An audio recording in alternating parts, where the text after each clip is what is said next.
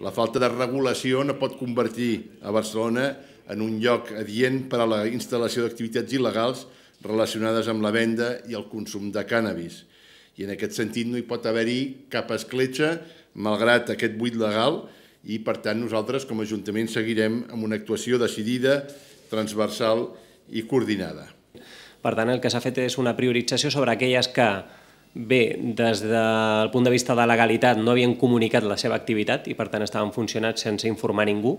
o bé el segon, eh, el segon criteri de priorització era que estiguessin provocant molèsties eh, de forma severa al veïnat. Per tant, en atenció a l'interès general i com